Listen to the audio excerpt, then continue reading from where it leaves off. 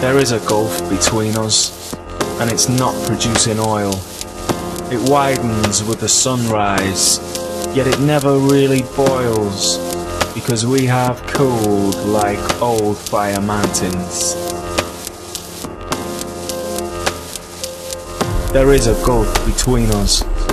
You could say it's warm and deep, but sometimes fighters race above the shore just to say that we must keep our growing distance. There is a gulf between us that shimmers with a slick, which drags down hopeful seabirds and makes their feathers stick, makes them sadly bend their necks like alcoholics. There is a gulf between us our old land links are gone. Different time zones cut the map where a shared noon sun once shone. But let's not call in the heavy bombers. Beneath the gulf there is an ancient homeland which should not be taken from us.